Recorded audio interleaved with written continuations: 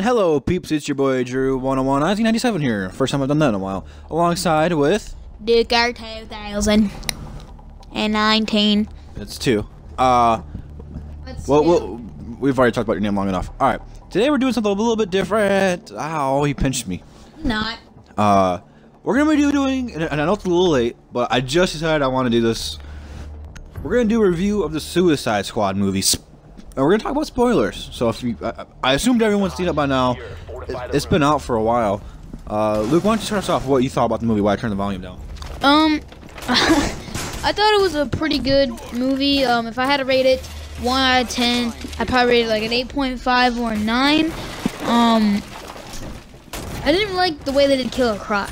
They, Hold on, hold on, hold on. We'll get there. We'll get there. Don't rush it. I don't see why everyone hated the movie. I mean, some of the characters were a little fishy. Ha, no pun intended for Killer Croc there. But overall, I really enjoyed it too. Um, so now, let's, let's- now we'll talk about the characters. Who's your favorite character? um, that's a pretty tough question. But uh, I'd probably have to say Harley Quinn. I think she did a pretty good job as uh, Harley Quinn. She was pretty hot too, so. I'm sure that's why you liked her.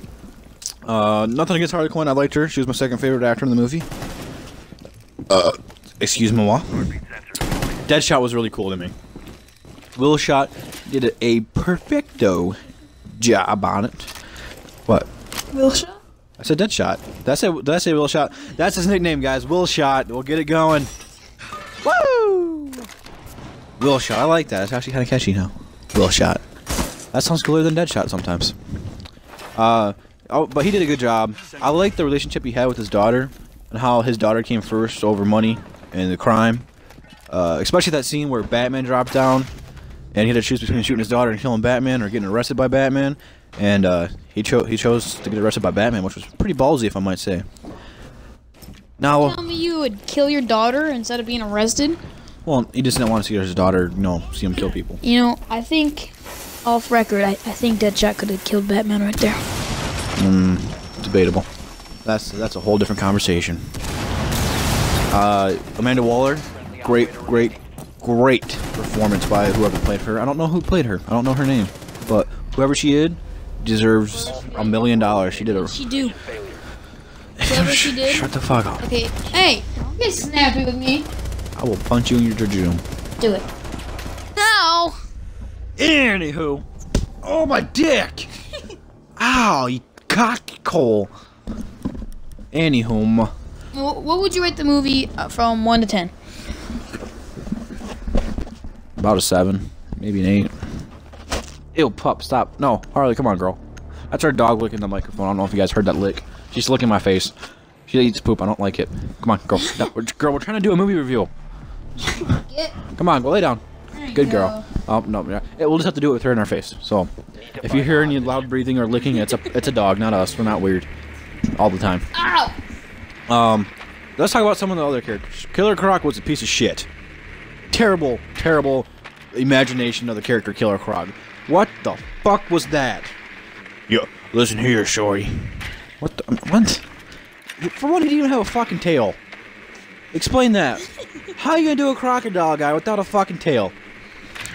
Yeah, it, it just kind of looked like to me they made him like a, a big, strong guy who just got covered in scales. It, it kind of looked like they were trying to do like the Jamie Foxx thing in Amazing Spider-Man 2, where it did not look good at all. I think they kind of made it like a little racist. Um, you know, real. You know, I'm not gonna really get into. No, uh, no, I think you're on the right track here. I think they're trying to expra- expand the character since they, if they would have done who's who the Black Spider guy is that his name? He's an African American character. He's a cool character. He's very. They should have put him in there if they're going to make it a, if they wanted a more diverse team than Killer Croc. I mean, Killer Croc, he talks all deep like that, but he doesn't use slang words. He doesn't wear street clothes. He wears tore up pants like the Hulk would wear because he has got a fucking tail, and he's taller than everybody else. I mean, I mean, they could just use different characters instead of that. Um, but you know what? I don't. I don't know. And Killer Croc's not even in this Suicide Squad. It's um, King Shark. Or, is it Killer Shark or King Shark? I think it's King Shark. But in the Flash show, if you watch the Flash show, they did do King Shark. I mean, he didn't look terrible, but I mean, he wasn't great. And they could have just used that. I mean, he looked alright, you know. But they, they just made Killer Croc look like a prison guy that, that got buff a little bit. His boobs hang out. And he talked like a black guy. Yeah. Diablo. Really cool character. I really liked him. I didn't know anything about him going into the movie. Um, I didn't know who he was, what his powers were. But I'm glad it's in this movie because I really like Diablo now. I don't know if it's anything like he is in the comic books or who the hell he is. But uh, let's just say shit got real. Um, the Diablo character, it was kind of funny to me because like, um, I was asking my dad about it. Like, I didn't really know who he was either. And he's like, yeah, he can like enhance powers from the devil. And I was like, okay, so he could have picked like when he when he fought the dude, hit the girl, the witch, the, the enchantress or the wittress, enchantress. She he was fighting her brother. Which which was a fucking stupid idea or character for the villain. But uh, he was fighting her brother, and he turned into like a tiki torch dude. Like he could have picked some cool looking demon dude if you think, and he picked a tiki. I mean, it was fine. But another thing that was kind of weird is um, like he was like burning through his heart because he has like fire powers, obviously. If you didn't see it, um, he, so he was like burning through this dude's heart, and as he was doing it, they were like, "Let's set the bomb," and like, so he was literally burning him from the inside out, and then he he got beat, he died because a bomb blew him up instead, which was kind of weird, but it's whatever. Katana just showed up out of nowhere. Yeah. Um, I felt like she wasn't needed, really. yeah, she just showed up out of nowhere. She's like, and the guy's like, oh, she's got a sword that traps souls, and her husband's soul's trapped in it. She talks to him all the time. Like it was, like I didn't really need her. We didn't need. She didn't do anything really. I mean, yeah, her sh- sword stopped the villain, but I mean, we didn't really need her at all. Uh, Captain Boomerang was actually kind of kind of interesting. I mean, the I don't think they. I think they should have left the unicorn thing out. That just reminded me of Deadpool. Of how if Deadpool encountered him, he'd just steal a unicorn and jerk off with it. I mean, uh, uh, the captain guy of the Suicide Squad. I didn't mind him. I like how he had to keep secrets from everybody.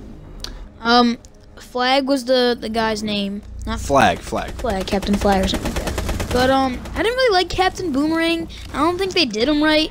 He he didn't really do anything either. He had a remote control boomerang that's seen the villain. Yeah, he got killed in three seconds, so the boomerang though. Yeah. That oh that one guy, the pilot guy, blew up right away. They didn't think that they had bombs, and Captain Boomerang made him run away. That was pretty cool. Yeah, I guess, but um, that was pretty cool. I mean, that was smart that he did that. He's like, oh yeah, these things can't be real, and he let him go up there and he blew his head off. But I don't know, like him when him and Deadshot are both in the Suicide Squad, they always bump heads over who's the leader. I mean, but in this case, I mean, I guess Flag was the leader, so I mean, eh, I didn't really like Boomerang too much. Uh, the the whole villain idea was stupid. Uh, the whole Enchantress thing, didn't really believe it. Uh, I didn't like it. Uh, the Joker, I had actually seen this article. This person is suing Warner Brothers for false advertisement.